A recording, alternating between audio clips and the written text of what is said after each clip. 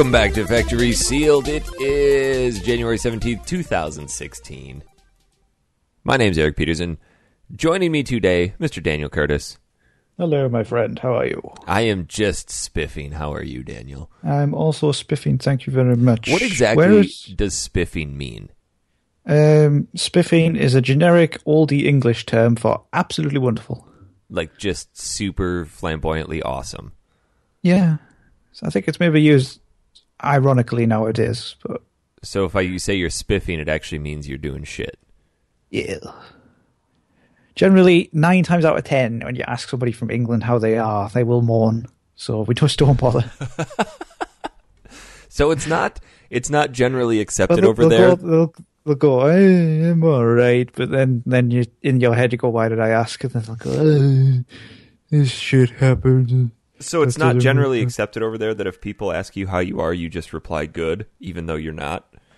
Yeah, Over there, people will actually you just don't ask you. how just don't- just don't ask how people are, How are you? oh, well, I'm doing shit today. and then you just run away and just don't speak to them ever again. so the proper way to say it would be I'm not spiffing. Yes, but as you know, us Englanders are quite sarcastic. So A quid, like a dollar? Not quite. Oh, you said quid. I didn't say quid. I'm gonna rewind the tape. You said quid. What is this? 1980. Uh, yes, I'm using a double tracking machine. I've got two spools of tape that I You have got like a hand crank. Yeah. I have to keep it nice and consistent. Like those old timey films that if you play it back too quick. Yeah. Let's That's get this probably out why my the internet drops out. Whoever's hand cranking it occasionally stops. I thought it was bit tight. Crystal hand cranking it. Might be. We should uh, get this out of the way first before we get two hours into this and realize that you and I are the only ones talking. It is, in fact, a two man show today. Oh god. Thomas is entertaining guests in his massive abode. They're all sitting around drinking tea and having like very small cakes.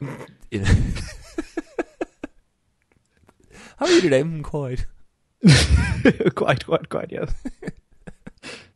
It's I must say these very small cakes are sublime, must you? Oh goodness. Yeah, it'd be, it'd be quite the affair. Vol-au-vents and stuff. What? Vol-au-vent. What's a vol-au-vent? It's a weird small pastry. Like a cookie? No, no, not like a cookie. How do you spell that? Vol uh, I, I honestly don't know. I'm not, I'm not posh enough to know what it is. V O L A dash U. A U dash vent. You called it a vol. vo- Oh, okay.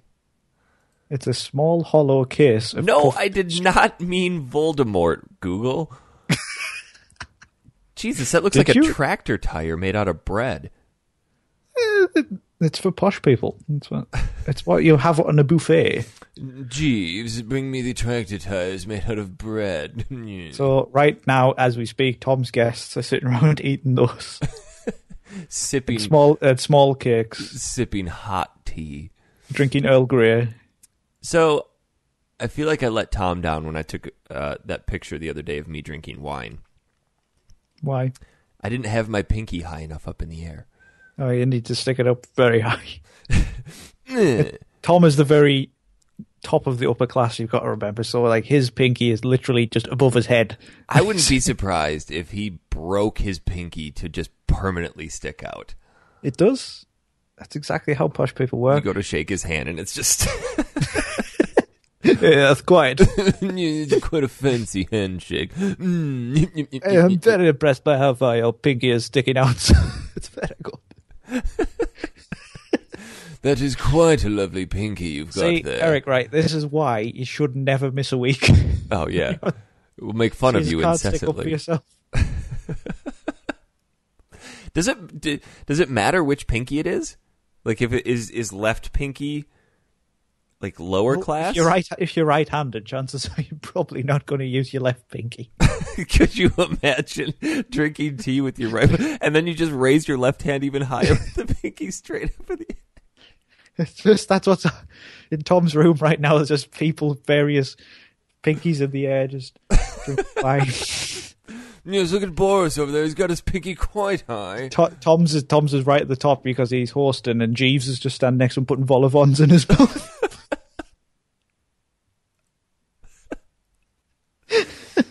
Now, guys, Alistair, where's your pinky? Mm, sorry, good sir. I'm shaking hands with Agnes. and straight back over the air. Mm, sorry, sir, it won't happen again. Jeeves, hold my arm up. My pinky is tired. Yes, he constructs a brace to keep his arm up with his pinky up. oh, another factory sealed invention. Alistair and Uh, Agnes. Oh man, Tom, sorry. Please come back. Tom, send us a picture. I want to get a picture of Tom's posh party. In reality, they're probably all really drunk and just unconscious on the floor, but with the pink, with the pinky still in the air. I'm gonna see if I can get Tom to send us a picture. Tom, we are making fun of you and your British pinky on the show right now. Can you send us a picture? We should have just had him on anyway. Tom, just put the microphone on in the background. It's just, here a bunch of mm, quiet, quite, yes, quiet. Literally all posh people. say. oh dear. Um, if you're wondering, by the way, as well, Jess is not here either. Oh yeah, that's right. She What, had can we make fun of something come up. I don't know what, but she just wasn't able to make it. Probably gone to the doctor's about a throat or something. Fortunately for her, this is a two-part show, so she can still technically show up next week and have the game beaten and have it count towards her perfect beat 2016. rate. But yeah, but like, this is kind of convenient that she's missing because I'm not convinced she started it yet. So Maybe that was the problem. yeah, I think it is. I'll fill you in later. Is that from Tom? No. No, I asked him I actually asked him to send us a picture of your bash with everyone's pinky in the air. Oh, that would be so good. I'd I'd like to hear him try to explain that to everybody. Can you send us a picture of you, Bash, with everyone's pinky in the air? Come on, Tom, I hope he gets it. Maybe I should have prefaced it with something a little nicer than we're making fun of you. No, I think he expects it. You know, if you know, if you're not here for a week, get the best. Out. Like that time when my power cut out. Oh god, we just lit into you. we did, you did, yes. well, that was the week that we had uh Will on, right? No, that was a different week. We had a guest that week, didn't we? No, don't think so. I thought ah, well, whatever. So, That was beyond my control, though. Literally, the entire street went down. generators, Daniel. Uh, get the get the hand crank going again. Crystal, why have you stopped cranking? Crank it, crank it. Your neighbors. "Mm, Well, Crystal and Daniel are at it again. I don't think they mind. No Like, they like it. paper. Th- oh God damn it! we'll stop on that. We will, yes. So we were talking about amiibos before the show. We were. You're saying You that those aren't the very- collection. Well, I don't have quite the collection. I have a collection. I would. I don't even think it would classify as a collection. I have an assortment. Hmm. I have. See, they're not like I was saying to you before. They're not, as far as I'm aware, huge over here. I wonder why that is because Mark Haddock was uh, talking to me the other day after I bought the Shovel Knight and Blue Yarn Yoshi, and he said that those are both in obvious abundance down in Australia, and even the giant Mega Yarn Yoshis, which here were a very limited release, only at Toys R Us. People were standing in line, and you could only buy one, and they were sold out immediately. Really? He said I saw one. I saw one of them in um, a shop near me the other day as well. He said down there they're just on the shelves everywhere. Yeah.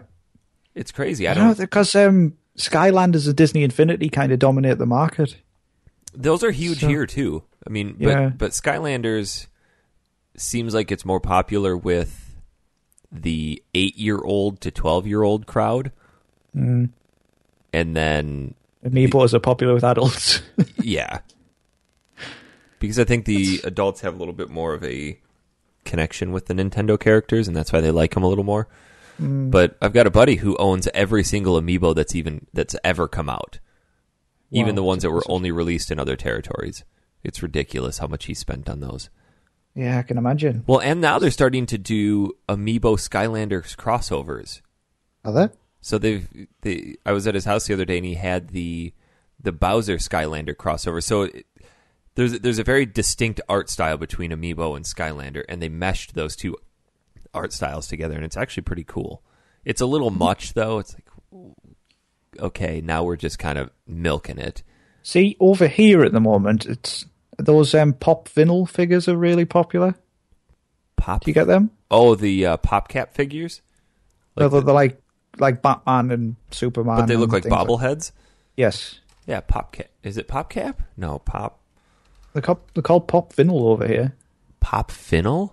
Vinyl. Oh, vinyl. Yes, Vinyl. vinyl. Vinyl sounds like fennel, which is a vegetable. I'm probably saying that wrong. Just like Illinois. Illinois. Yes. Isn't that a uh, humble- game that was made by American state. Rockstar about a detective? What? It's a joke, Dan. That's called word association. You're supposed to say no. I that literally was did. Literally didn't hear what you said. No. oh. I said, isn't that a game that was made by Rockstar about a detective in the 1940s? Yes, it is. That's called L.A. Noire. No, it's called Illinois. Sequel. Just walking around in its old barns and cornfields. Is that really what it's like? It's not far from the truth. Illinois is a pretty boring place. Whenever we would drive south, we would do everything in our, our power to not drive through Illinois. Hmm. Christy and I drove from Wisconsin to Florida for our honeymoon, and the way down through Illinois was it's fine. It's like, all right, cool, we're on our way to Florida, and everything was still all exciting. But on the way back, we hit Illinois, and like the whole mood in the car just tanked. Oh, Like we got six hours left of this garbage. if you listen and you're from Illinois, we do apologize. Well, thankfully, the winner we had to send the game to was not from Illinois. Do they even have post there? I think they drop it off at the Missouri border and then they truck it in by horse. All right. so, did you like LA Noire? No, absolutely not. Did you not? No. I thought it was really cool for what it accomplished at the time in terms of recognizing facial features, but Yeah. as a whole, man, it was boring. It looked good. The game It looked was all right. I bought it Could for have been so much more. I bought it for 11 bucks on clearance. So I got $11 worth of entertainment out of it. Probably did the first case, then went, sub this. Mm, I got to a part where I was able to park a car on some steps and got out and went, well, that was fun. Yeah, pretty far, Eric. It's about as far as Jess gets in most games. Well, I actually started the game. Actually, yeah, that's further than Jess. Yeah. So, no, back to the amiibo thing for a second. I bought the Shovel Knight one. I'd completely forgotten that that came out. Oh, that's pretty cool. And I love Shovel Knight. when I was at uh, GameStop to pick it up, one of my buddies is really good friends with the store manager at the one by his house, and the Shovel Knight ones are they're kind of hard to come across. I haven't seen any in the stores, so he had him hold one for me, and I walked in to pick it up, and they just happened to have one of the the blue yarn Yoshis, which is the only one I hadn't been able to find. So picked that one up as well, and Oh, that's a good. That's pre a good. pre-ordered myself a copy of the Mega Man Legacy Collection Collector's Edition for the 3DS, so I could get the gold-plated Mario or a gold-plated Mega Man amiibo. Oh, Mario instead of Mega Man. How dare you? I know. How dare you, sir? How dare I make such a amateur slip? Ew, Tom with his sticky out finger would, finger would be disgusted. He would wiggle his pinky at me in disgust. Say, "You are not yeah, quite, enough." quite. Hmm. Hmm. Rookie mistake. So hmm. But speaking of Mario from your slip up, this week's game is Paper Mario. You see, this show isn't just thrown together. you should see the script. yeah, it's nothing. We basically just had Ellie mash on the keyboard, and that's her script. Mm. And then with Mario put in there somewhere. Yes. Daniel, So yes. Hello. hi. How are you? Very well, thank you. How are you? Quite. Mm, quite good. Tell me about Paper Mario. Oh, well, Paper Mario, as you know, is an absolutely spiffing RPG for the Nintendo 64. So, as per our previous conversation, it's a shit RPG.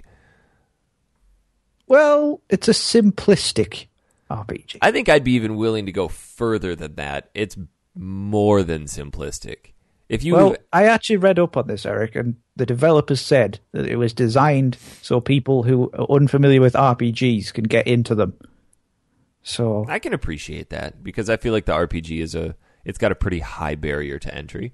oh god, yeah, um, I'm playing Xenoblade Chronicles X for the oh Wii U, Jesus. and uh, my god, that game's complex. Not to not to sidetrack yet again, but that game I have an interest in that game and I don't think I will ever pick it up because I consider myself to be a pretty seasoned RPG person. I mean, it's it's Yeah. one of my favorite genres. I've played hundreds of them multiple times. So I went over to a friend's house because he wanted to show it to me, and I actually my eyes actually glazed over, and I probably started drooling as he was explaining it to me because there's so much shit going on in there. I don't even think I could comprehend all of it. I don't think I've even scratched the surface because it starts off and it just kind of there's not there's a mini tutorial, but to be honest, it doesn't show you most of what you've got to do, Yeah. and you just Well, and if you think the the crafting system in Rogue Galaxy was in depth, this one's even worse. yeah, it's you can buy stuff, you can put data probes in places, the battle system's complex, you can learn arts, you can get new skills, you can upgrade your items. It's got And everything there's just this big overarching concept of an RTS over the top of it. Yeah, sort of. And then later on you even get mechs which you can use in fights. No thanks. So, but it is as the the world design is fantastic because it's kind of it is open world, but all the monsters and stuff roam around. so It's got a very. Final Fantasy 15 feel to it. But I think Final Fantasy 15, like if it's like that, will be really good. Wait, you haven't played the 15 demo, have you? I have not. Oh, Daniel. Oh, Eric. Oh, You think we'll actually see Final Fantasy 15 this year?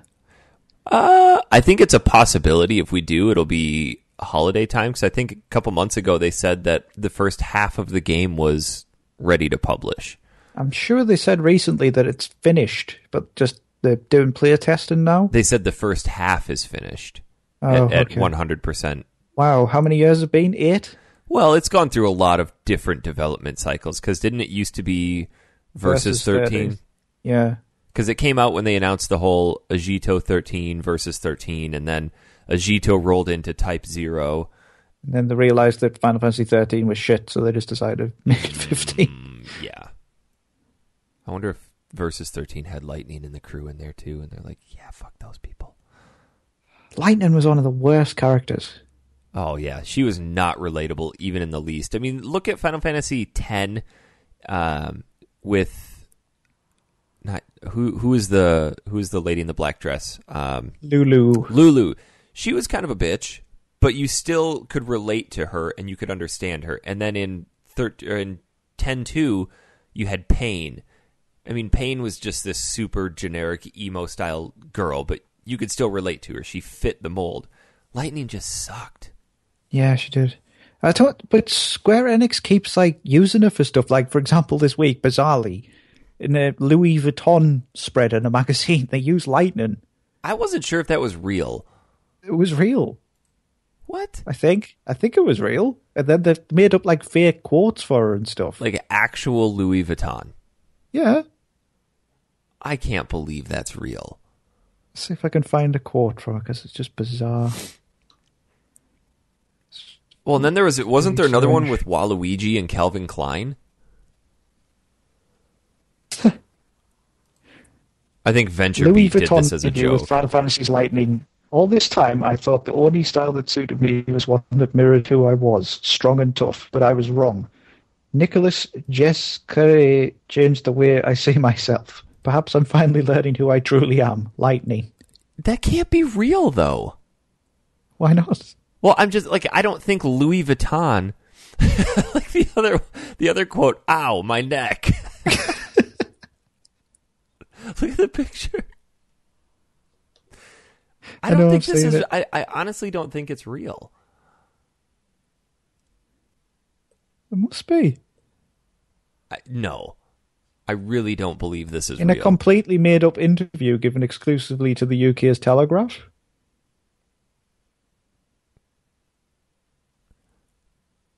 what? Wouldn't you? Yeah, wouldn't you choose Serah because she was less annoying? I think Lightning is one of the the prettiest Final Fantasy female characters. But she's, but nobody likes her. Yeah, it just goes to show that you know. I don't know. I think next gen Tifa on the Final Fantasy VII remake will give her a run for her money. Do you think they're gonna incorporate like ultra jiggly boob technology for her? I think it would be a missed opportunity if they didn't. I'm I'm hoping they don't change her too much because they pretty drastically changed how Barret looked. Right, Yeah, they did. Compared to Advent Children, he looks completely different as well, doesn't he? hmm He looks too buff. Even even Cloud looks different from Advent Children. He's still pretty similar. Mm, same hair and stuff, but Hmm. I'm, I want. I really want to see uh, Red Thirteen. My God, I can't believe that Louis Vuitton actually did this.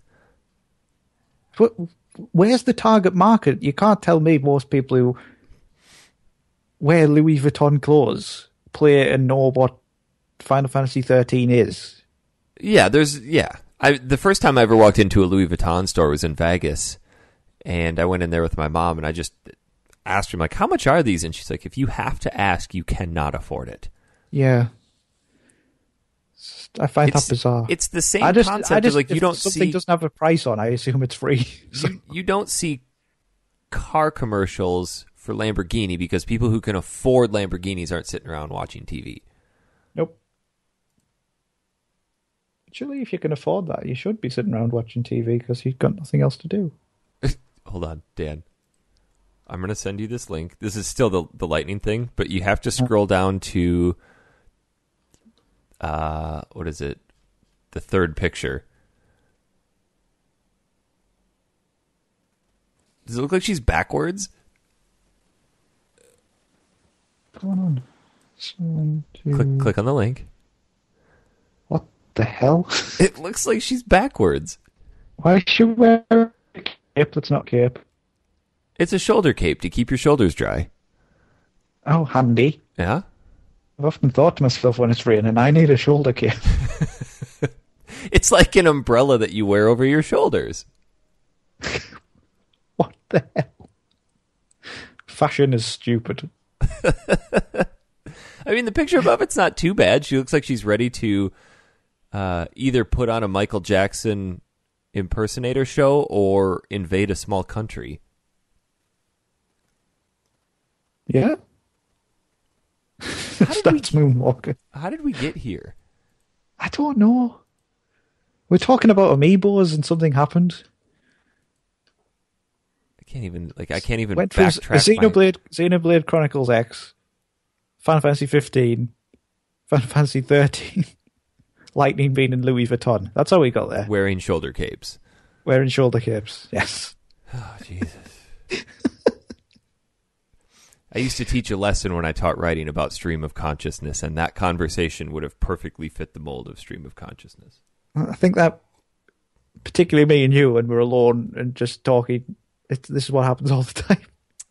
The internet's a dangerous place. It is. You get into some dark territory real quick. hmm Let's not forget the Tomb Raider episode. Oh God! Don't bring it up again. let's go back to Mario Mario. and let's talk about some very generic, simplistic entry level RPG. But you say that, but do you find it unenjoyable? No, not at all. It's it's got a very Nintendo feel to it. It's like this is great. Nintendo took an RPG and made it really cute. Yeah, but what I like about it is it kind of delves more into Mario's world because you don't see that a lot. Well, they've they've Like- done that. This isn't the first game that did that though. I know. Of course, the Super Mario RPG before this, Yep. which is kind, it's kind of a spiritual sequel. It is. It's got a lot of the same sound effects, a lot of the same elements to it. I did like Mario RPG a little better though, because it is a more hmm. traditional RPG. I see. I dabbled with our Super Mario RPG, but I haven't played it all the way through. I don't Are you think. serious?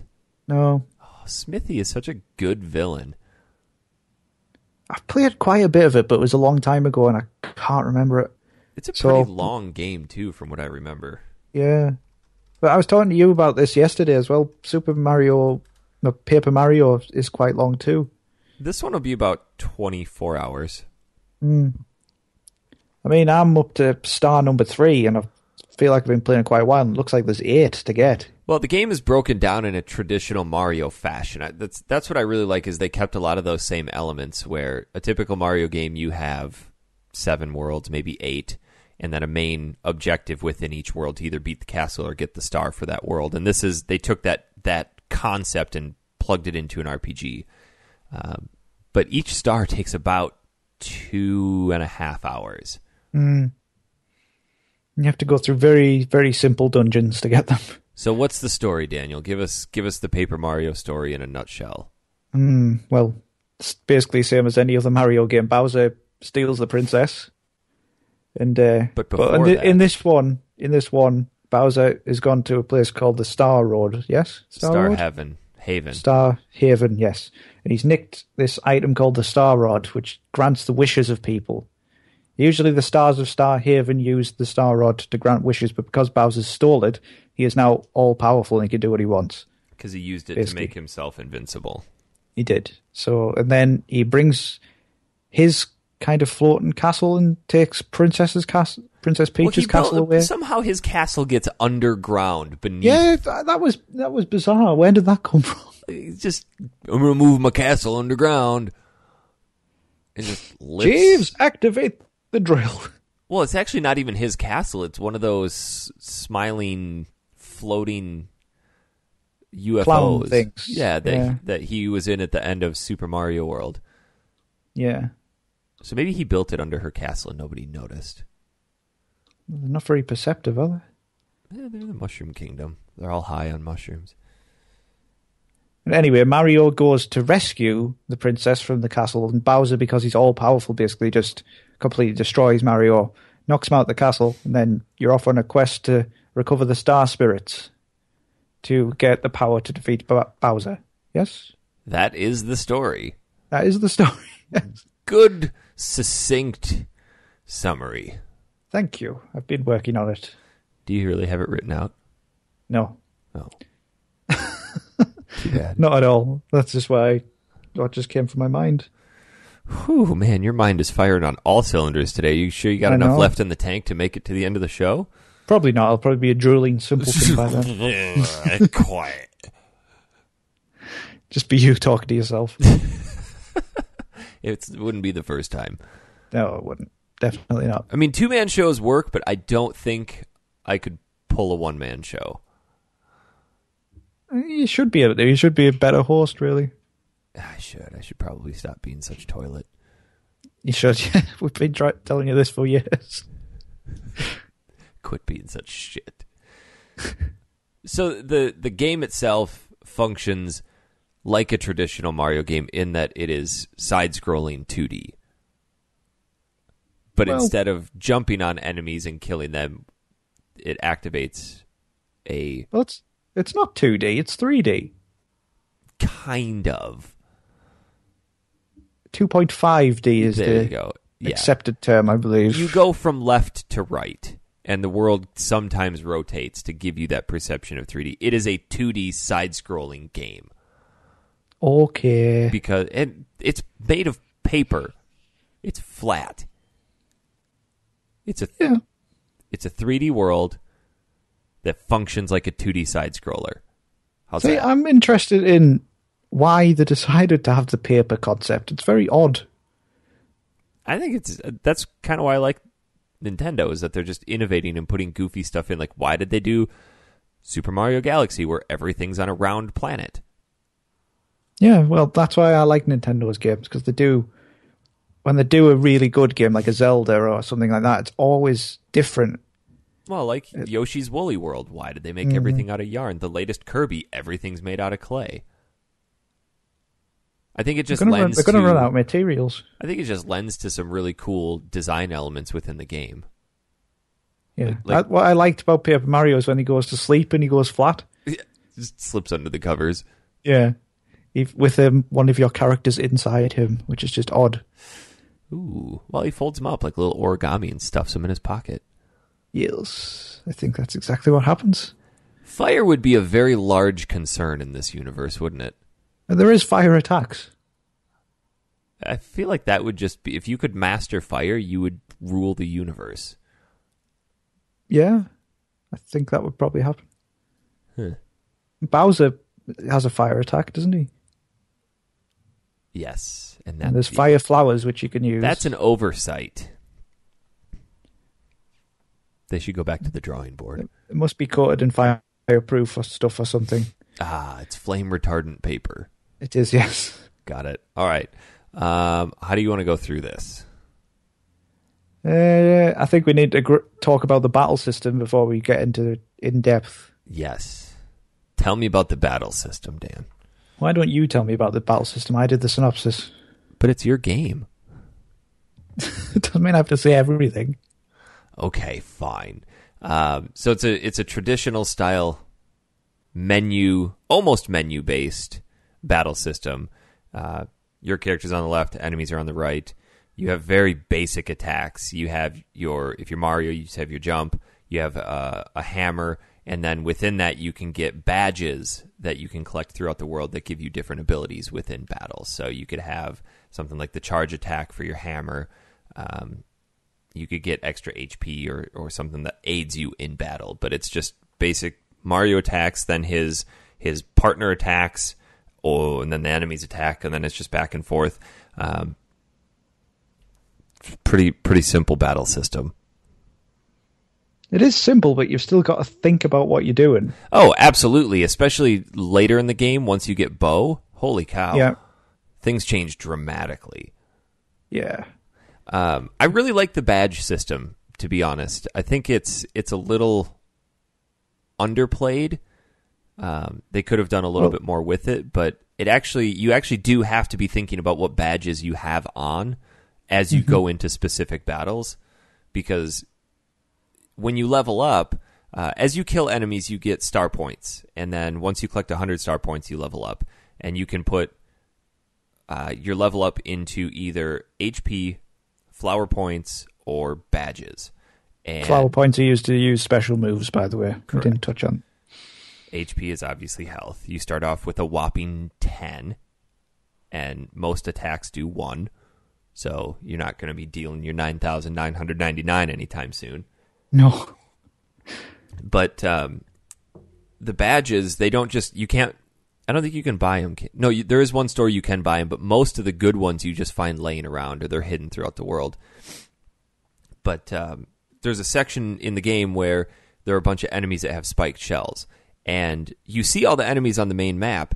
But if you if they hit you first, they get first strike. But if you jump on them, you get first strike.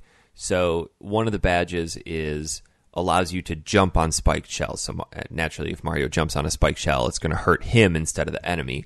But a badge gives you the gives you the ability to overcome that. Yeah, there's ones that like increase your HP and FP and stuff like that. But with the leveling up system, I said this to you again the other day, and it, it takes so long to level up. And it's so easy to avoid the enemies. I've gotten to spots where I'm like, man, I am severely underleveled for this. Yeah.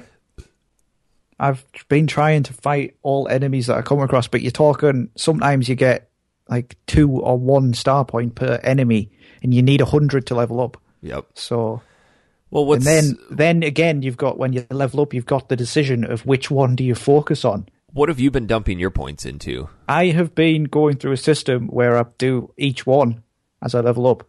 Really? So I'd go HP, FP, badges, HP, FP, badges. See, I went HP a couple times.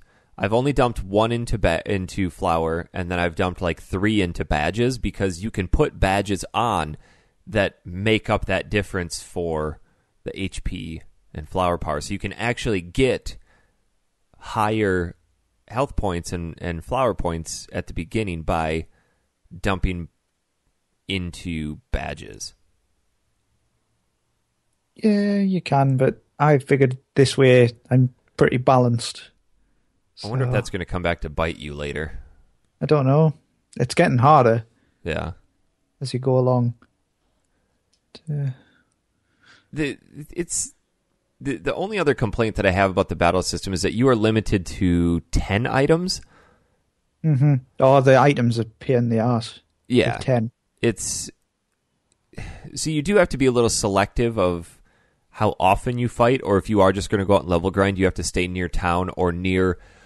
Uh, occasionally, they'll have save boxes, and and typically around the save box is a heart box that will replenish all of your health and flower points. So if you are going to level or grind, make sure you're either near town where you can buy items or around one of these heart boxes because as enemies hit you, you have to use this health. You can't use there there is a star power called focus that I guess we forgot to talk about. I never used that once. As you collect these stars, you get new star powers, and one of them is focus, um, where you can actually skip a turn, but it increases your star power. So you to use these skills, it uses star power, so you can basically refill it on your own. Uh, another one is refresh, which gives you five HP, five FP, but it uses a full star. So that one's actually saved my bacon a few times. I think that's not enough health. Well, the enemy, the enemies start like later on doing six and stuff like that. Six so damage. without jumping too far ahead, Bow has a skill that makes you invisible. uh huh. So what I'll do is I'll cast refresh on myself, and then Bow, Oh, have right, her yeah. make me invisible, and then next turn I'll do refresh again and have her make me invisible. So you can slowly fill your health up that way. See that that's interesting though because like it is a simplistic battle system, but like I said before, you do have to think about these things. Well, and it's it's really cool. They do give you party members, and they're not Nintendo main characters, which I think is interesting because you always view the Koopas, the Goombas, um, the Lakitus, and all those other, you know, the Bob-ombs, the the Bullet Yeah. Bills. You view them all as enemies, but in this game, they all exist within the world. And Bowser has recruited certain ones to be part of his army, and they're the bad ones. So the first town you come across is a Goomba town, and it's this family of Goombas, and you meet this little uh, this little boy named Goombario who wants to go on an adventure with Mario, so he becomes one of your partners, and he's got special skills like Head Stomp. Um, I don't remember what his power skill is. His tattle, which tells it's basically like Libra from Oh. Final Fantasy, tells you the enemy's weaknesses and their health and stuff. I don't think I've used that at all. I use it occasionally. There's a stupid enemy which I I couldn't figure out how you hurt. I do like the I do like the concept of the different uh, sidekicks that you can get. So so far, I have Goombario, um, who's who's Coop, Kooper, Koopa? Kooper the yes. Koopa, uh, Bombette, uh, Yeah, and uh, Bow. I think we're about the same point. You just finished the third star, right? Just finished the third star. Yeah, I'm exactly the same place as you. That's where I stopped. so it's it's it's cool how the the levels progress because there's a pretty common flow to how each chapter goes. You start off going to either a town or a location and you have to help those people there solve a problem. Once you solve the problem for them, then you can move on to the actual meat of that chapter, getting into the castle or someone who is terrorizing this town.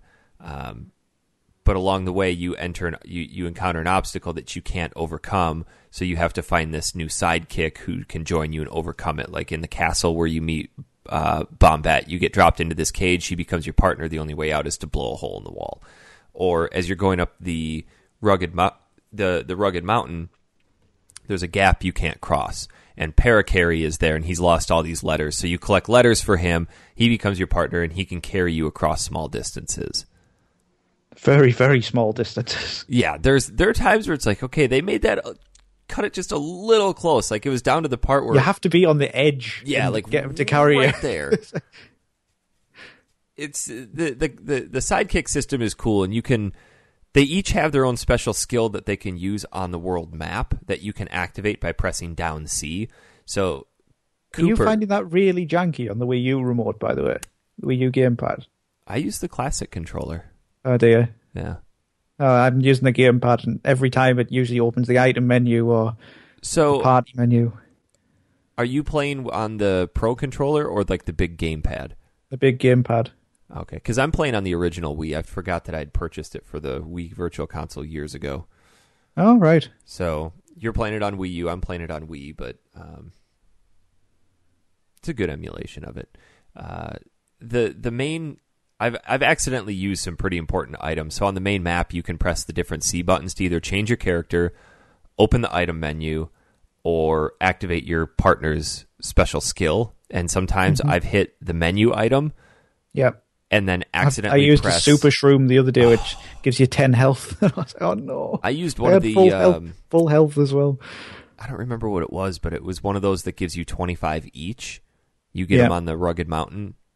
The whacker thing. Yeah, the Whackers, wacka wacka balls or whack a moles or something yeah. like that. They- I was pissed to the point where I actually reset. I'm like, you know what? It's only been 15 minutes since my last save. I'm gonna reset because I need that. I had I had to reset because in um, Toad Town there's this shady looking guy, and he says for a certain amount of money he'll upgrade one of your skills, hmm which he does. But then after you've done it, he goes, "Oh, one of your other ones will have gone down." By the way, so I went down from like 25 FP to 10, Ugh.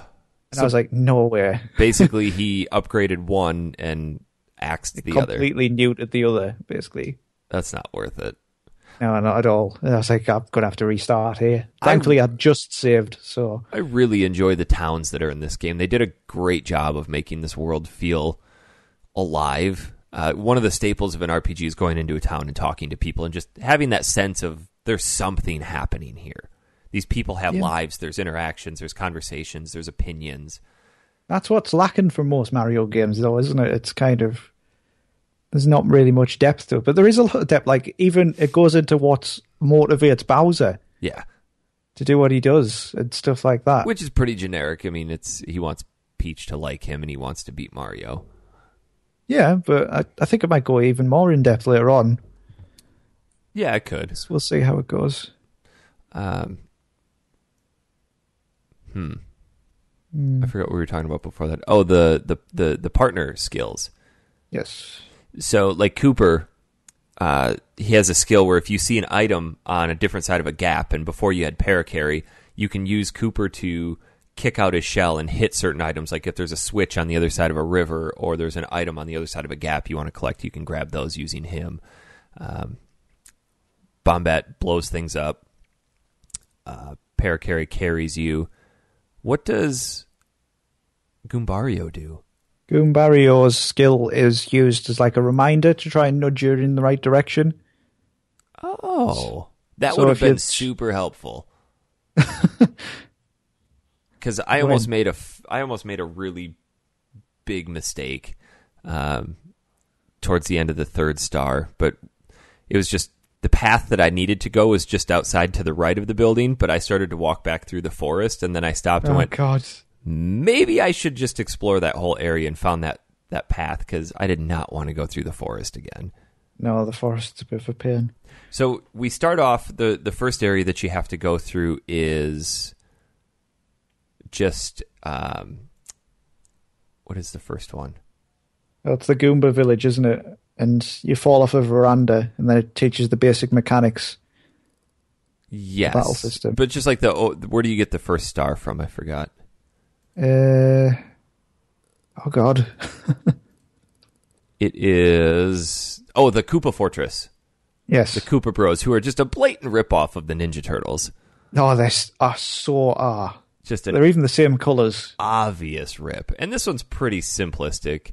Um, I mean, we don't need to go through through all of it, but yeah, basically Bowser has recruited different bosses to to hide or protect these stars. And the Correct. first one is the Koopa brothers.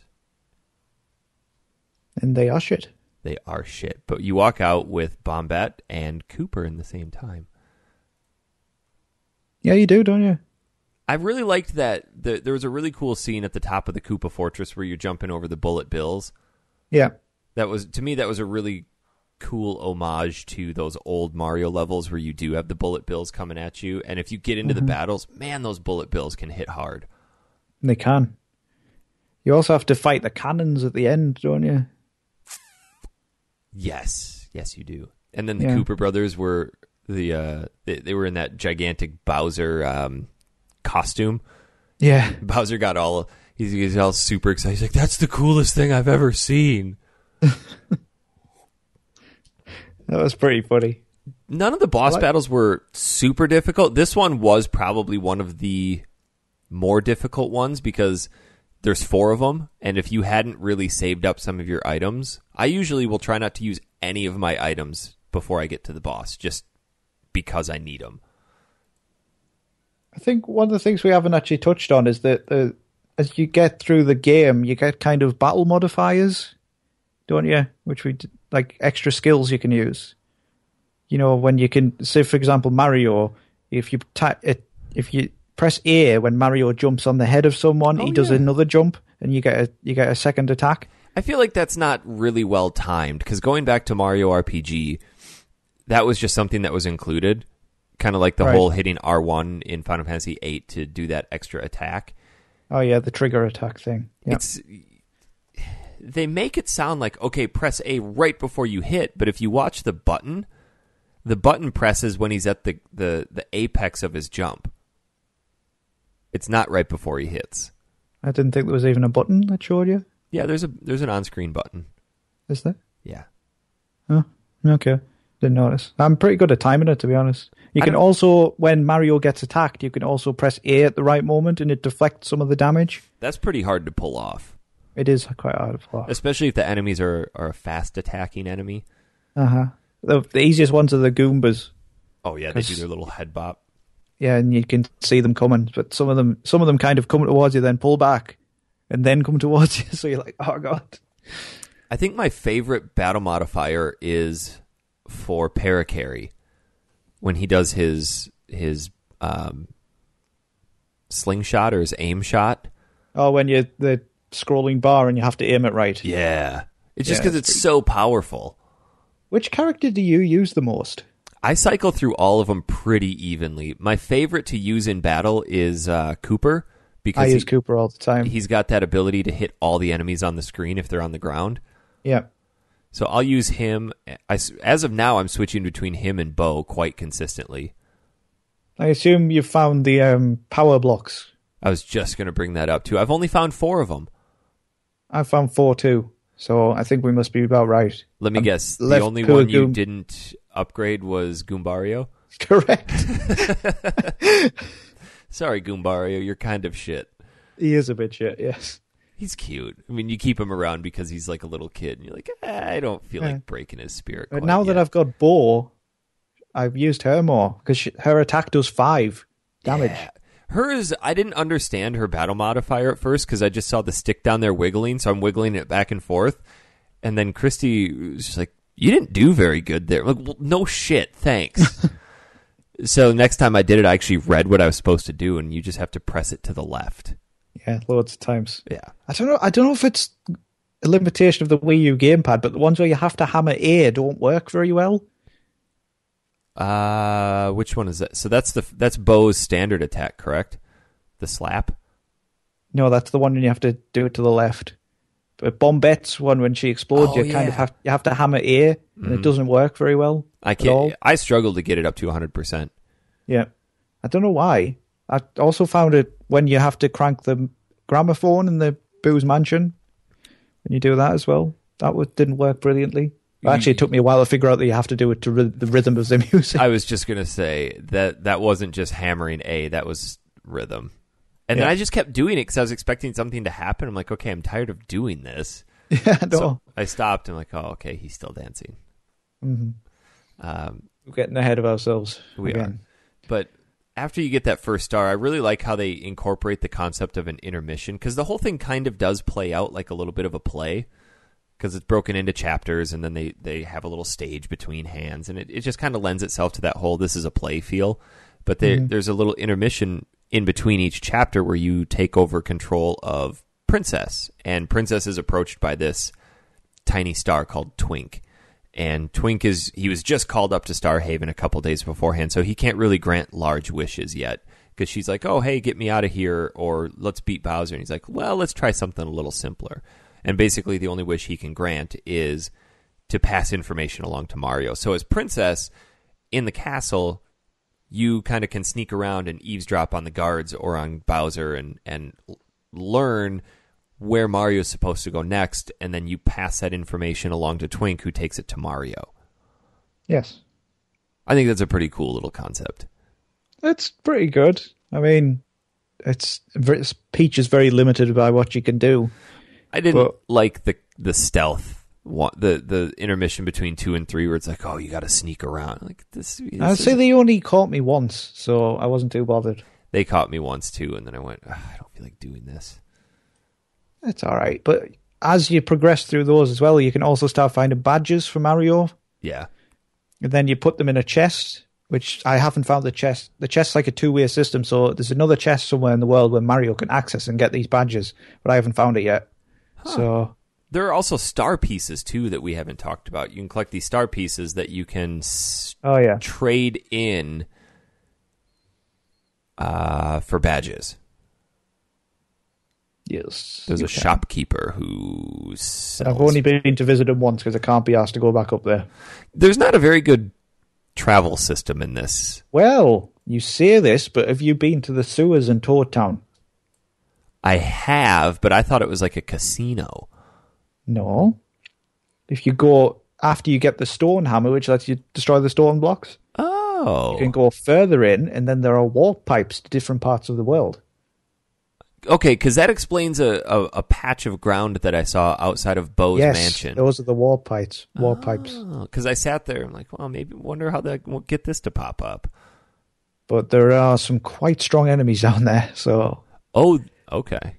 So it's not just pop up and then like, you get you get attacked by one of the squid things. What what are they called? squids, I don't know. Do they have a name? squid. Okay, squids. I don't know. Let's look. Blooper. Loopers. Yes. Interesting. That, that one was quite strong. So if you go down there, you can find warp pipes to get to different parts of the world, but there's only three open so far. So What maybe was- you get other maybe you get other skills as you go along to unlock more stuff down there. I don't know. Did you get frustrated with the uh, desert level? No, not at all. Dry, dry desert? No, but you said you did, so I'm intrigued where you struggled. I didn't struggle. I just got annoyed. I'm not a big fan of maps that make things super confusing just for the sake of making them confusing. So the desert has a main path that runs through it, and then it can branch up or down. And then once you go down, each of those has one that can go up, down, left, or right, and then another level that goes down. So it's, I think it's like a 12 by. It's quite easy to figure out though, it's just a big square. Yeah, So- it is. But within each of those levels, you have those those cactuses that chase you, and then you've got the the the the thieves that run after you, and it's just it's it's a lot. Yeah, it was kind of annoying, but I kind of avoided most of the enemies. I think. I think I did too. And then you've got to you've got to try to find out who this Moustafa guy is, and you have to go to the store and buy a hammer and a shroom in a specific order, and that shows Moustafa that you're one of his friends, and find out that the guy who's feeding you information is actually Moustafa himself. Mm-hmm. Gives then you. he gives you a gem which you can use to get through the desert and find dry, dry ruins. I enjoyed Dry Dry Ruins. I thought that one was really cool. Yeah, I don't. The way it, like finding keys and stuff reminds me of Zelda in a way. Yeah, but just- it it was such a well laid out dungeon. I Yeah. just I did not like the blue cactus because they poisoned you instantly. Did that? Yeah, I avoided all of it. Well, the only three that I fought were the the three that you had to fight to open up the the room. Hmm. I didn't notice that. Mm-hmm. Maybe they didn't poison me. Who was the boss in this level? It was That guy who was dressed like a pharaoh. oh Tutankoopa. Yeah. he summons chain chomps to attack you. He was a fun him, so- boss. I liked him. It was quite difficult, though. There was I didn't know whether to focus on attacking him or the chain chomps. so I that's the one where I threw a badge on Mario for his Quake Hammer, mm-hmm. and I just kept using Quake Hammer, and then I had Parakarry with me, and Parakarry would do his fly attack on All right, yeah. Tutankoopa. So good idea. usually, usually the character that you get leading up to the castle is the best one to use for that boss. Makes Wonder- sense. Surely there's not a character for every single star, though. So Uh, I don't know. I'm intrigued whether there's like better than the super blocks, so you can upgrade them again. There must be. Yeah, it seems like there should be because they you're upgraded to full capacity pretty early in the game. Mm. Like Mario, gradually, I wasn't sure if Mario got upgraded, but eventually you get new boots and Yep. a new hammer, so you can increase your attack power and stuff. Which I was quite thankful for because The green the- boots. Mario's Mario's boots also give him a stomp attack in the world, so you can get to new places. It's like his butt bomb from Mario 64. Yeah, Oh, I like that though. It surprises me occasionally with new stuff. Uh, the next level, chapter three, with the invincible Tubba Blubba, Yeah, I like that. he was pretty cool. I, for as much as I don't like those, uh, forest type levels, think back to the Zelda games where you walk in and it's like, okay, Ugh. you got to go this direction, and if you go the wrong way, it takes you back to the beginning. This is like that, only bigger. So you walk in and it's this circular area that has four exits on each side. And they, the only clue they give you is look at the surroundings near each exit, and the correct exit, something will be different. So one of the exits has a tree trunk that has glowing eyes. Um, another one will have four flowers instead of three. So it's kind of cool how they went about doing that, but still, it's frustrating because there's like nine or ten areas that you have to get through. And there are actually a couple that you can branch off not the correct direction and get uh, badges, a flower badge and an HP badge. Oh, is there? I didn't see them. Yeah. Oh, I missed them. So I went and got those. Did you get the bulbub or the No. bu- the bubulb? Because there's the I've got one. I've got one somewhere else, but not there. there's one in the the forest, and you take that back to the lady in Toad Town. Ah, so I'm gonna have to go back to the forest. I should be right next to it though, because I just finished the third star, which is next to there. So Yeah, there are three things to get in there. You've got the FP badge, HP badge, and then the bubble. all right, okay. but Go you'll check it definitely want those. Um, but yeah, once you work your way through, you end up at Bow's mansion, which I liked Bow's mansion. I thought her little lead up to the the the boss level was pretty fun. I liked that though because it, it kind of it was different. It wasn't about fighting enemies anymore. It was more kind of solving some pretty simple puzzles. But I liked the change of pace. Well, it felt like the ghost mansions from Yeah. the old Super Mario World. It wasn't I liked it when I liked it when the Boos um, kind of when they just would pull faces and stuff like that. I thought that was pretty cool. Or they would hide those objects and you'd have to find them. Yeah, It's, it was pretty cool. And then, did you find the um, the pot that if you jumped into, you'd pop out as eight bit Mario? yeah. What was the point of that? I I think what that was was to teach you the beat for the song that you had to use the Ah. record on. Okay, that would make sense. It didn't seem to have any other purpose. Nope. Still cool though. I really like. I like the. Uh, I I sent you guys a a message about Bootler the Butler. Just Yeah, that was funny. how I laughed at generic of a too. name. It was really good though, because obviously the Boos and I just It's all- it was really good. Pretty slapstick name stuff, but it's it's cool. Uh, I, I I said to you earlier in the week, do you not get like occasionally, not all the time, but some of the stuff there's a sexual vibe to it. see, I I'm don't. sorry. Pick, I didn't pick that up.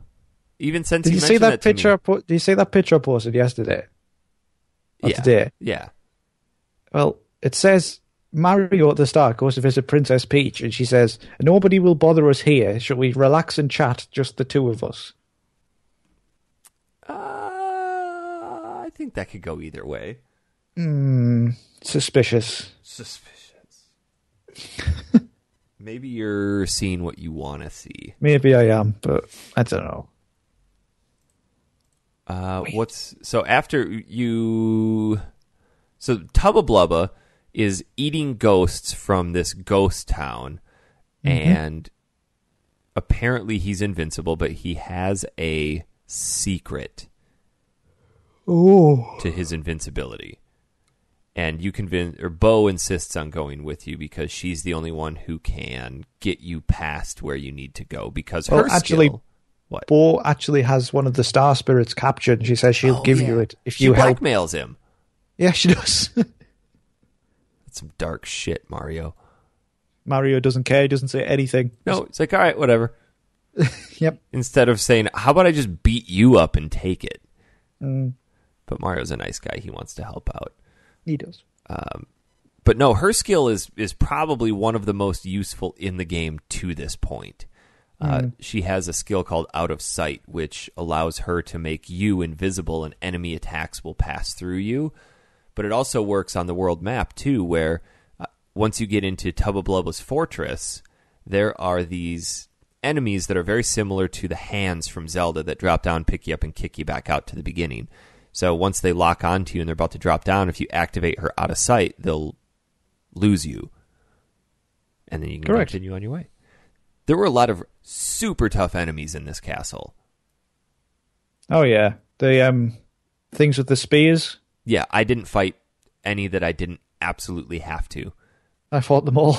Oh God, they're not particularly tough, but they come in like groups of four, and they always hit for four HP. Yeah, And I'm only at unless twenty you, unless you do the block attack thing. which is still it's going to do two. So either way, every round you're going to lose eight HP minimum.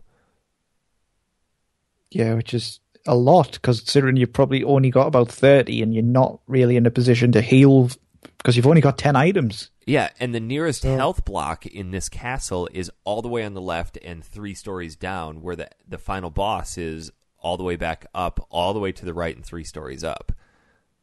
Yeah, But once you beat the enemies, they're gone, right?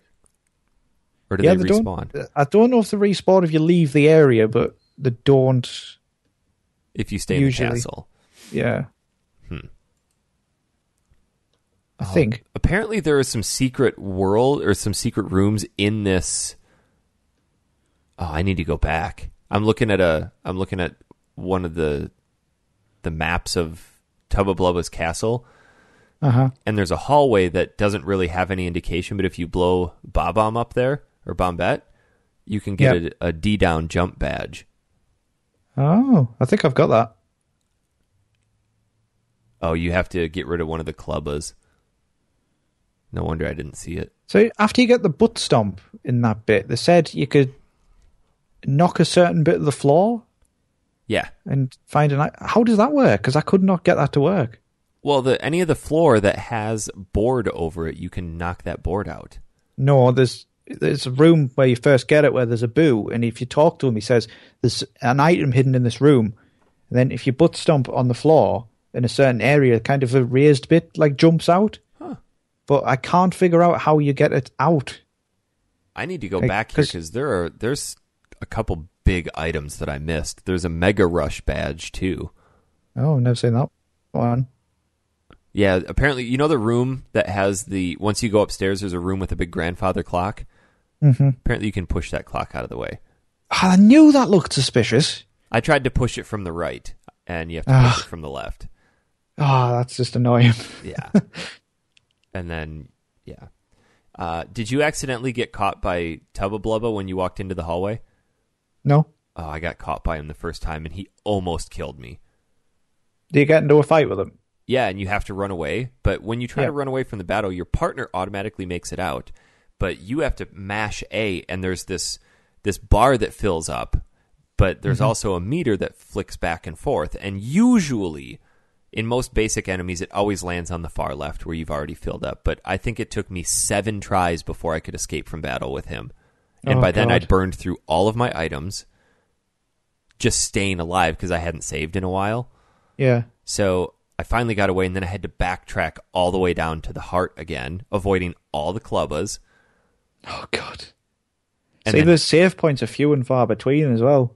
Yeah, so after I did that, I went outside, saved, came back in, which had respawned all the enemies, I think, at that point. But I made it back upstairs, got past Tubba Blubba, and then you go into that room where he's hiding his key, and there's like 15 clubbas there. Yeah. Did you get caught by any of them? I fought them all. You fought all 15 of the clubbas in there? Yep. Why? Because I want the experience. Oh my god, I ran through all of them. This is why you, you're under leveled because you're running past enemies. Rule one of RPGs is if you don't necessarily have to, don't run from a battle. Uh, see, I had to because I didn't have items, and I didn't want to backtrack all the way down again. Well, if you hadn't run from enemies in the past, you would be strong enough to cope. What are you doing for average damage right now? Uh, four with the hammer, four with a jump attack. Is that if you hit the action and double it? Yeah, Okay, see, we're doing the exact same then. yeah, but you you must be have less HP or something. I think I've only got 25. I think I'm up to thirty. Oh. I think I've only got 15 flower points, though. I've got about twenty five flower points or something. So once you get through all these clubbas, you get a key that takes you into Tubba Blubba's room. And in Tubba Blubba's room, you find a chest that has another talking key in it that opens up a windmill that you passed on your way to here. So you have to backtrack all the way out, avoiding all the enemies again. But Tubba Blubba No, starts Tubba- chasing you. Yeah, I like that bit. That was quite tense. I wonder if he can actually catch you. He probably can. Hmm. Uh, you get out there and you find that the secret to his invincibility is that he does not have a heart. His heart is in the basement of this windmill, and his heart is the one that's controlling Tubba Blubba. Correct. And this is a pretty easy fight, I think. Yeah, it's the the heart was really easy. Then you, after that, you fight him outside, and it was even easier. Because he only had 10 HP, which I thought was cool because by this point I'd burned through all of my items. I had nothing.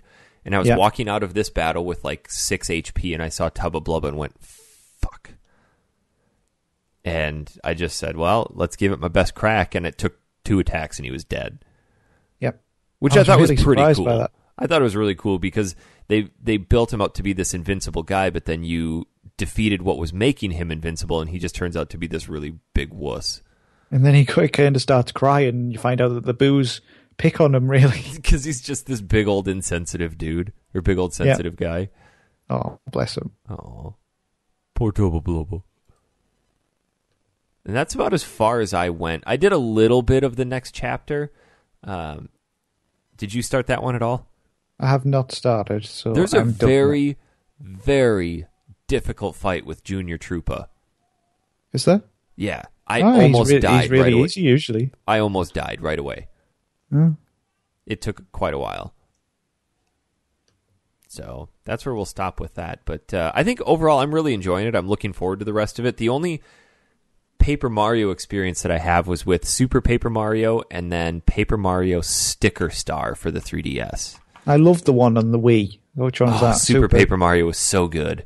That was such a good game. Because you could flip it to a 3D world, and instead of going side scrolling, the camera would rotate and you could see down the 2D. So clever. So so clever. It just it it made for a lot of really cool puzzles. It kind of builds upon the foundation of this one, doesn't it? Yeah, was did that have the similar battle system to this one? I can't remember. exactly the same. All the ma- all it? of them did this. The only one that was majorly different was Sticker Star, where you had to collect stickers and then use stickers to attack, and I didn't I didn't like that. Hmm. But there is another Paper Mario coming out next month called Paper Jam for the 3DS. Oh, I should have it for Wii U. Uh, I know the Wii U's not really getting much love. It's such a, a good console, though. It's such a sh- it's such a shame. Well, But now this- that I have one, I'm looking at it going, okay, what games do I need to have? Or what games are Mm-hmm. like really good to have on here? And I can come up with maybe four. See, I'm interested what they're going to do with Zelda because is it going to be like Twilight Princess where it's on Wii U, but because they're going to release the NX, is it going to be an NX game? See, I well? think I think NX they're going to announce it at E3 this year, and we won't see it for at least another year. yeah, They're going to get at least two E3s out of it. it's a it's a bit shit for a Wii U owner though. I mean, it's been quite a short generation, really. I wonder if this one's always been meant to just bridge the gap. Well, rumor has it for the NX, it's going to be a handheld and a console. Well, technically, the Wii U is also But what if you can actually take it out with you? like a cross Like between a console and the 3DS if they're bridging Yeah. that gap. Yeah, So I wonder if that would just mean that it's like a it, it's their next handheld that will have a home base that you can plug it into. plug it into the TV Yeah. because they've already established the technology with the Wii U. I think they need to make sure that it's powerful this time, though, because they need that third part, pa- party support back. And because the Wii U's harder to develop for because it's underpowered, then I just. Because I like Nintendo, I like what they do. Their first party games are probably some of the best games on the market. Yeah, every, I'm I'm wondering if there will ever come a day though where we see Nintendo go the way of Sega. yeah. Well, make I think if it depends on the success of this next console, because the Wii U hasn't done brilliantly. No, but Nintendo has enough money in the bank to survive for 40 years going completely negative and Really? still be okay. They're not they've got a ridiculous amount of money from the Wii, didn't they? So oh, the Wii and the DS and the 3DS, and it's insane how much money they've got new, in the bank. the new 3DS, which isn't the same as the normal 3DS. no, but it is. I, I'm glad I got a new 3DS. It's vastly superior. Is it a new new 3DS? Yeah, I have the one that's called the new 3DS. Right, stupid. Shut up. The Such load times are name. drastically different. They're a lot faster. Such a bad name. Yeah. Well, it is what it is. And then the 2DS. Oh my god. Yeah, Talk about just convoluted. I was trying market. to. I I was trying to explain that to Crystal because she saw one and she was like, "Well, what's that one?" And I'm like, "It's the 3DS," but it's not. but it's she was just look. She was just looking at me like really confused. I was like, "Yeah, I know what you feel." it's 3DS without the 3D, so it's not a 3DS, but it plays 3DS games, but in 2D. yeah, that's basically it. And she just looked at me in disgust and went, "That's stupid." It's like, and that's why I hate games. yeah. So, anything Yeah, else about I- Paper Mario? We are half. I, we're under halfway, so we have a lot of work to do. We do. We've got to get through it by next week. I, I think it's a fair assumption to say it's about two to two and a half hours per star. Yeah. I'm 8 I'm hours to in. invest a lot of time into it this week, try and get it finished. Well, I've got Monday off, so I've got so many games to play at the moment. I'm I've got about I'm playing through about six at the same time. It's terrible. If I've got could- Xeno, if- Xenoblade Uncharted Collection. Uh, I'm playing Guitar Hero occasionally. Uh, Paper Mario, Just Cause Three. Ah, just ongoing constantly. do you remember being a kid and looking at your games and going, "Man, I wish I had a new game." Well, now Yeah. we're kind of at the opposite. Like, I've got too many games.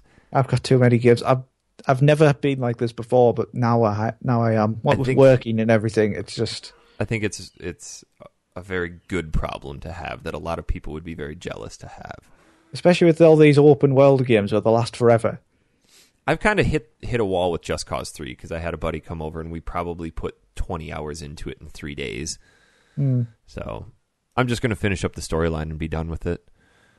All right. It's fun though. Um, I haven't had a lot of time to play that yet, but I am enjoying it. it's a good just romp around and not really do anything. I just love flying on it. It's just hilarious. It's great. Uh, anything else on Paper Mario?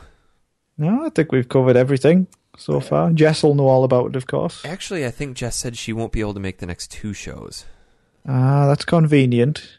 Jess, let's see what her message says. Oh, yep, next two shows. It's extremely convenient. We pick a long game and Jess bows out. Mm, very suspicious, Jess. Likely story. Uh, we have some emails, Dan. Emails plural. emails. Uh, if you want to send us an email, factory sealed at manatank.com. Let me let me load it here. I didn't have it open as per. We have our first one from Brian. Hello, Brian. Hi, Dan. He says, Hi, Factory Seal crew. Just want to write in and say how much I enjoy listening to the show. I've gone through all of the episodes at least twice now, and am currently Really? going through them for a third time. Wow, I'm sorry, Brian. Brian, you shouldn't do that. Your intelligence will go right down. Though this time around, I think I will give the Toronto Batman episode a miss. Good It's probably a good idea. Good, good choice. What I enjoy most about the show is the trip down memory lane, talking about games that I spent countless hours playing while growing up, chatting about Super Mario Brothers with Elias Tefexis, one of my favorite episodes, the in-depth analysis of Final Fantasy VIII, the Chrono Trigger and Silent Hill episodes, all gave my nostalgia bone a tickle. I can't wait Oh, to see what you pull out in 2016 and hope you all have a good new year. Dan, you were saying Mario was filled with a lot of sexual reference. Yes. This is sexual reference. What? Tickling a bone. Yeah, I, I See just what you that. pull out in 2016. Brian, you are a disgrace. Uh, P.S. A game that I recommend having a look at is called Dink Smallwood. It's a shortish isometric mm-hmm. RPG that came out. It's uh, all about sex with this guy. It's a shortish isometric RPG that came out on the PC, which had some funny, humorous dialogue. The HD version of the game adds save states, a turbo button, and better mod support. It is free to download from the developer's website. It may be nostalgia talking, but I remember having lots of fun with this game 10 to 15 years ago. My Oh my god, there's a town there's a town that worships ducks. I'm listen, sold. Listen, my favorite memories were punching ducks and old ladies, inciting two royal guardsmen to fight to the death, and then punching the victor to death and getting attacked by an avatar of one of the developers. That's I am sold. Yeah. Yeah, yeah, this is going on the list. Uh, Yep, definitely. PPS. I joined the Steam group. My handle is the 64-bit carp. PPPS. Are you ready for this, Dan? I'm ready. What? Jeeves, gluten free, vag. he summed up the entire show in four words. That's brilliant. Man. I like how I get top billing as well. Oh, what? Nobody else can do it right yet. no, because we're not that dumb. Yeah. Uh, thank Thanks, you. Brian. Appreciate the email. Very nice. I like reading those. Uh, yes. Thank, thank you, Brian. Really appreciate the listening. I'm impressed he's on his third round. Uh, yeah. I mean, that's a lot of. Like, we're on episode 83. Let's figure average show length two hours. That's a lot of show. Maybe he has a long commute. Maybe he just has a job where he can listen to us. Yeah. That's Think small. So, Eric, uh, on the subject of adventure games, I saw something the other day which reminded me of a game which I played once with my friends called Little Big Adventure. Have you ever played this? Little Big Adventure. No. It's it's like another kind of isometric game, and it's really weird. I remember my friend having it and it being really difficult. Little it was a PS1 Adventure. game. Man, that box art looks shit. Wow. It looks like an. It looks like a retarded avocado with wings being looks like ridden by a by a scarecrow with a robe on over the Taj Mahal. Yeah, that's basically it. You played this? I did play this. This game looks pants. That's why we should play it. Look at oh my gosh. Hold on, hold on. Look at look at the textures on this boat. Those textures. Holy cow. Oh, that's some good shit. Hold on, I need to look up Dink Smallwood cuz I think I know what my afternoon is going to be. I think we should play it one week for the cast instead.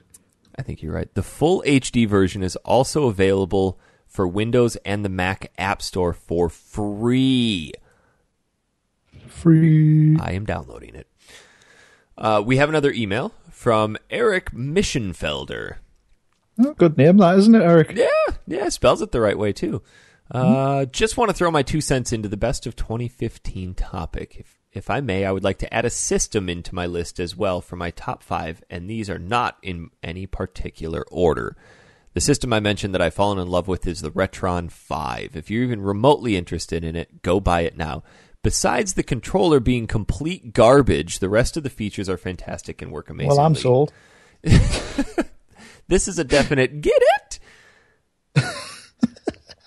he put it. Wow, in, that one was high pitched. He put it in caps with an exclamation. Um, I don't think you did a good job selling it, Eric, because a controller is kind of the most important part of a console. Yeah. But, hmm, isn't that the one where you can put a Super Nintendo and an NES game in it at the same time? I have no idea. What's it called? Retron Five. What happened to oh the first god. four? Oh my goodness, you can put everything in there. Oh my god. Everything. GBA, Game Boy Color, Game Boy, Famicom, Genesis, Mega Drive, Super Famicom, Super NES, and NES. I am buying one. the controller's shit. Th- Oh my gosh, look at the controller. Holy crap, that thing looks Oh, like a hot turd. Hey, the games are in high definition. Does it accept traditional controllers? I don't know.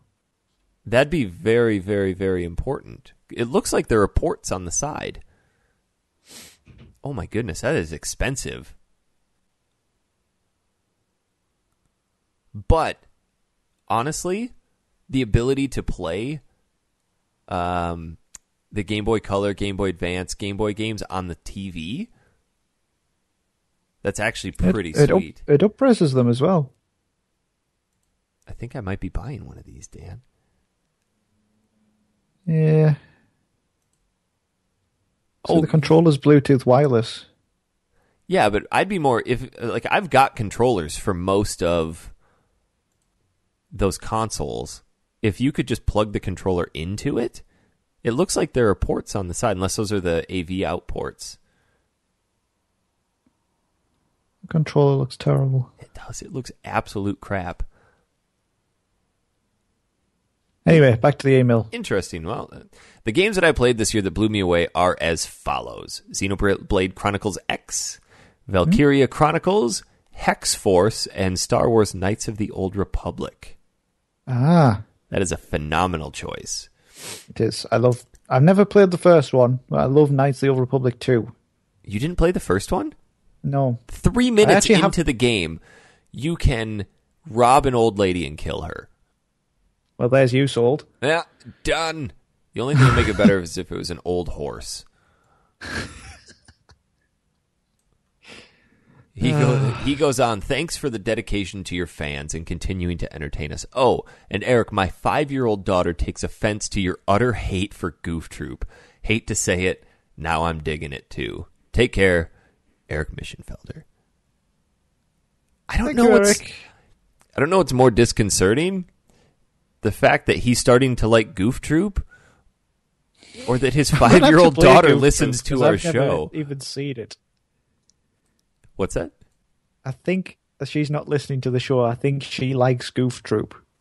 But it says specifically, my five year old daughter takes offense to your utter hatred for Goof Troop. Because she probably likes Goof Troop. But he calls me out specifically. She like I have a five year old girl that hates me because I don't like Goof Troop. Oh, bless you. It's like being in first grade all over again. Oh, Eric, tell your daughter I deeply apologize. And if I ever find a copy of Goof Troop in the flesh, I will sign it and send it to her.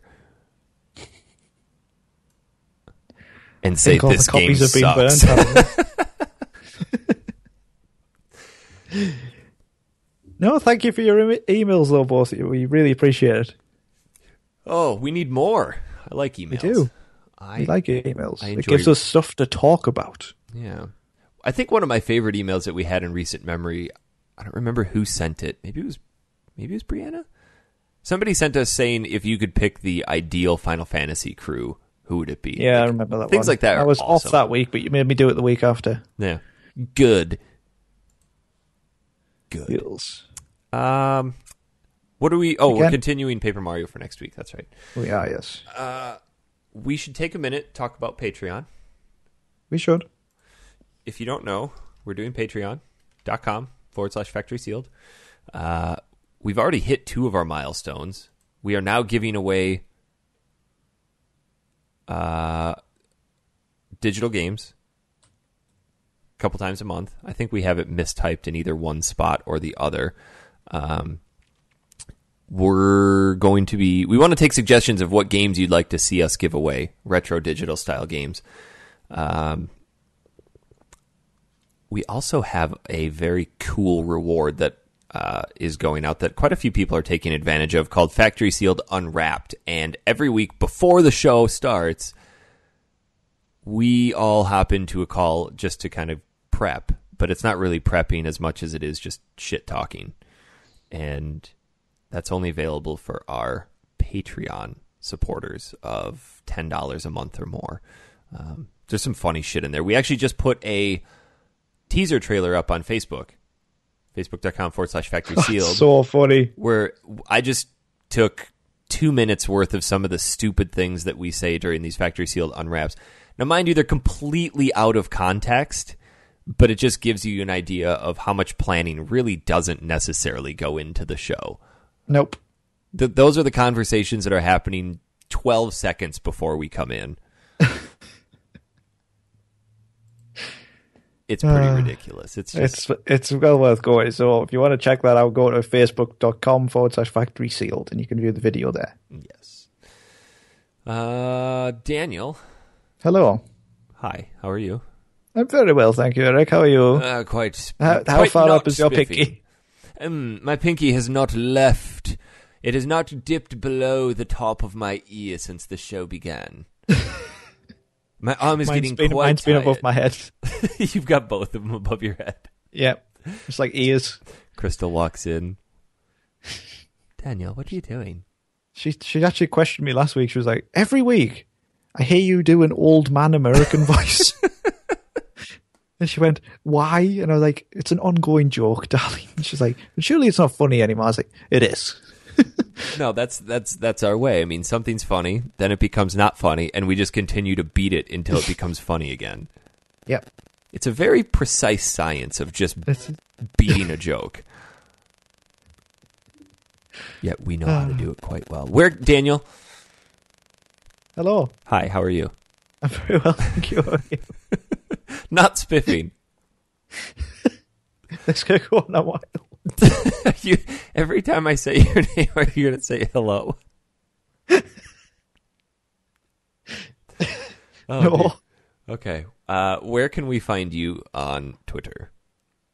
On Twitter, you can find me at Frosted Sloth. You can find Where can we find you, Eric? Oh, Daniel, we can you, you can find me at Honest Pizza. Do we have a, a, a main Twitter?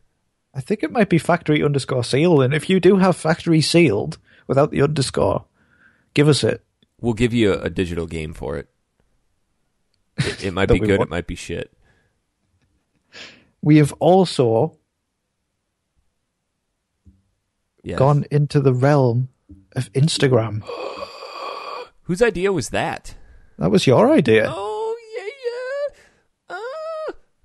So if you would like to check out our Instagram for ludicrous pictures every so often, that is Factory Sealed Podcast. I think it's a little bit more frequently than every so often. Eh, every I do have to say hours. that's pretty often. I really like that that cosplay picture of the Sonic kid because Okay. I imagine that's exactly what you look like as a kid. that was that was me. Uh, I know. It's from my uh, modeling career. Mom, I'm gonna go fast. I mean, could that costume be any worse? No. So I was looking through some of the Sega ads, and I think you found the most perverted one. Yeah, it's really good though. It's proper funny. But like Sega in general just had really, really risque ads. I'm surprised. But I do, You I do get- have you to couldn't give. get away with this nowadays, could you? Oh no, I mean, and that ad doesn't even make sense because it says it's got a picture of a guy playing with a joystick. I don't even think Sega had a joystick. But They it did. They did. Did it I used look to use like it for? Mortal Kombat. and it, it- okay, so this picture very clearly looks makes it look like he's pleasuring himself with the joystick. And on the, left, The slogan is: the more you play with it, the harder it gets. which doesn't make any sense because when you play a game, the more you play with it, the easier it gets. yeah, but it's funny. I, I do Uh, like their Eric, old. read read out the undertext. You sit there, eyes glued to the writhing arcade quality graphics, pulling and squeezing your knob. Now you're breathing heavily over the digital stereo sound. Now you're shooting all over the place, but it's no use. Game over. There's no way this is a real ad. It looks real. Did that actually exist? I think so. There was another one that I saw for the Sega Game Gear where um, it was a picture of a guy from behind with his pants off. and it said something about pl- finally playing with yourself won't make you go blind. And then the guy turns around and he's got his Game Gear covering his crotch. I gotta find that one. Put that on Instagram. So yeah, this is the kind of thing we have on our Instagram. If you're interested.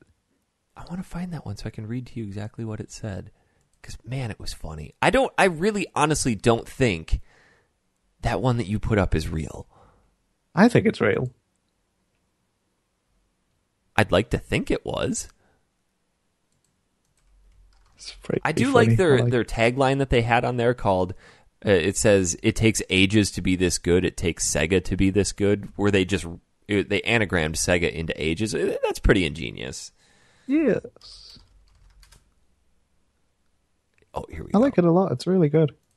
but it's just such a per- here we go something to do with your hands that won't make you go blind here, i'm gonna put this up on i'll put this up on instagram but i want to show you right now That's a disgrace. now you can play with yourself for hours with sega's handheld full color game system the arcade blah blah blah blah blah blah blah and then they capitalize it's coming soon It will fulfill your fi- wildest fantasies. I love the guy. He just looks like he's tracking it. why like you wouldn't even try to play a game like that like you're not even looking at the screen you can even fiddle around in total oh, darkness guys, you got to check this out on Facebook or Instagram. It's so good. Oh God, we got a little sidetracked there We did. um, we will be back next week jess will not be here thomas will we'll be finishing paper mario what are we going on to after that so people can get a head start i think i actually just updated Grim. Fandango. Ooh, that was just free on ps plus last month or this month Was I've got it downloaded. Thankfully, I haven't played it yet. And then after that, February 7th, we'll be hitting up Oddworld Abe's Exodus. Oh yes, I love that game. Yes. So I threw something on the list the other day that I want to make sure that we all could try to source because I really want to play it. It's called Time Splitters Future Perfect. Oh my god, I love Time Splitters Future Perfect. I've still got it. So do I. That's kind of why I wanted to keep playing it. I think it would Can be you play it on Xbox 360? I don't know. Oh, I hope you can. I've got it for original Xbox, otherwise I'll have to recover my Xbox Crystal from under the bed at my mother's. Xbox Crystal. Yeah, the see-through one. Oh shit. But that's worth a bit now. Let's see if it's ex- if it's backwards compatible.